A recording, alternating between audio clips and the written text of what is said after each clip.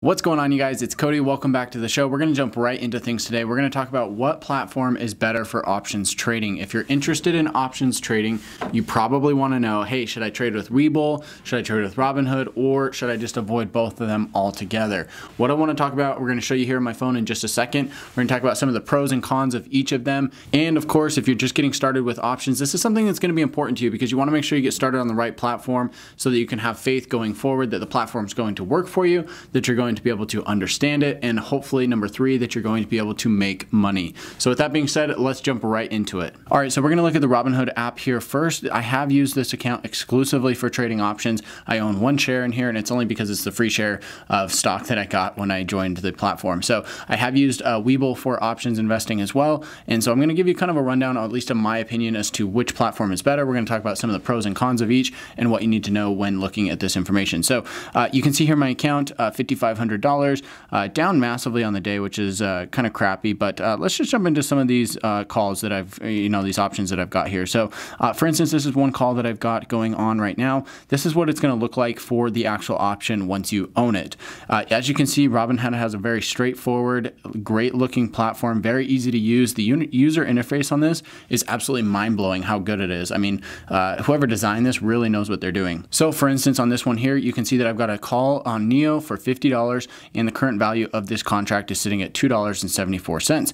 Uh, if you look at the one day history, you can see all this chart information. You can kind of click on it and scroll here, and it will show you how this has fluctuated throughout the day. So this is kind of cool. The only thing I don't like about this is that when you look at the chart, it doesn't have any numbers on there. So sometimes, you know, from like this point to this point, it might be, you know, I mean, that's almost a 50 cent difference. It could look that exact same way, but it could be a, a $2 difference, right? Um, so the, the chart is not always consistent. It always just shows you uh, down here at the bottom of the chart. If I bring the, uh, the little cursor over here, this will show you kind of the bottom of where it started, and then this shows you the top. So the chart is really this, uh, this full area here.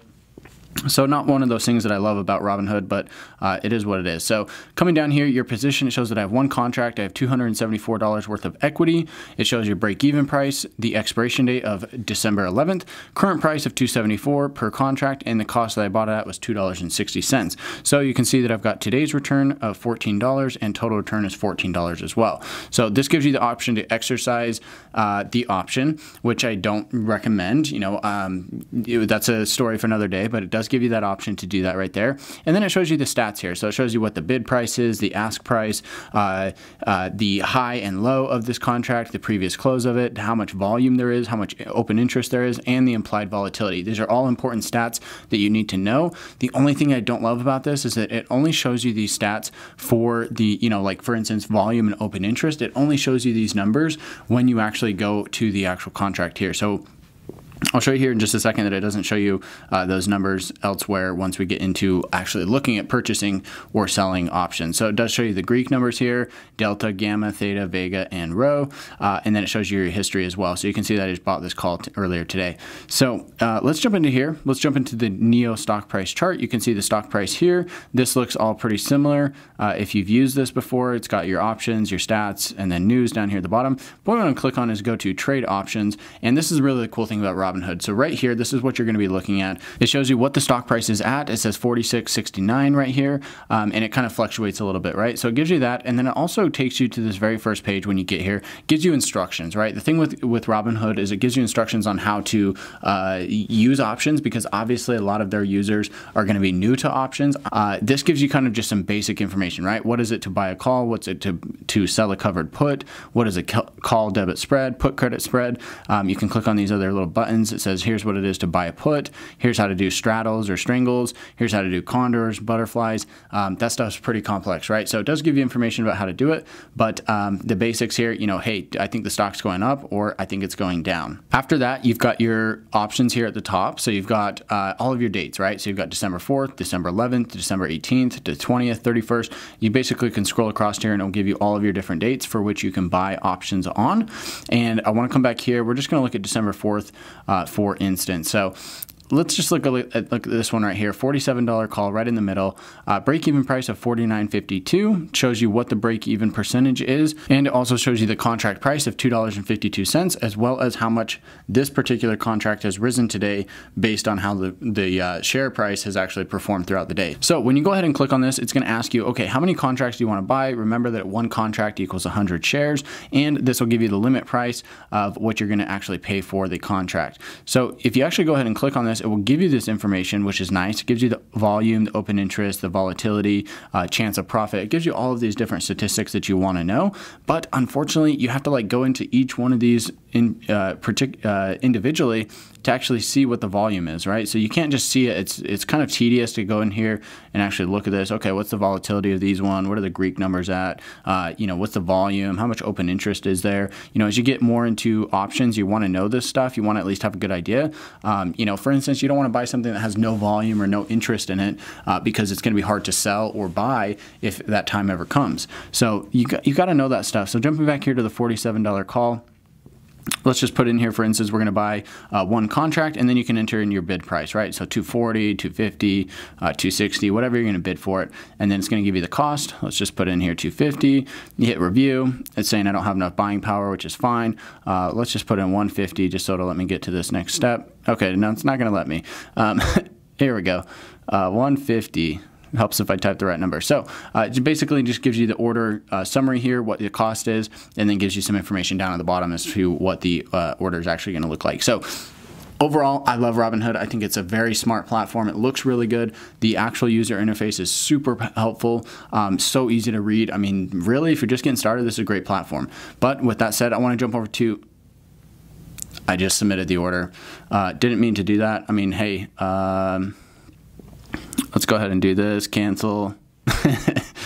all right. Didn't mean to do that. Uh, we're all good though. So let's jump over here to Webull. Uh, we're going to look at Webull here. We're going to go to, uh, yeah, so we're looking at the watch list. Um, and I want to look at NIO again uh, as well here on the Webull platform. So this is my watch list.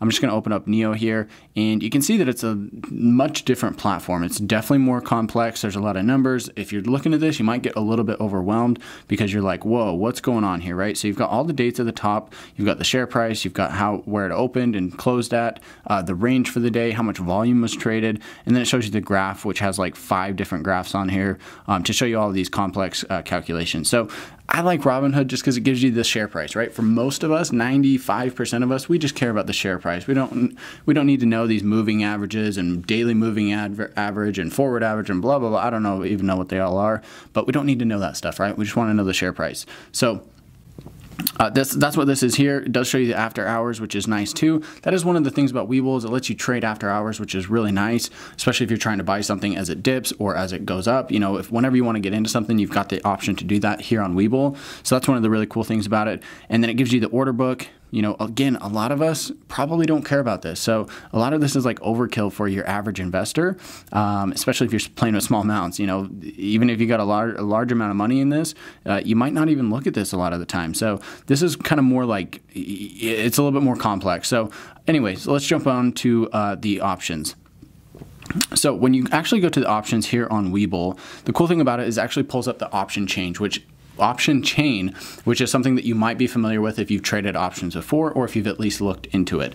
This chart here might look a little bit more familiar compared to the one that was on Robinhood. So I'm going to show you here that it's got all your strike prices. It's got uh, how many days out it is from today's date.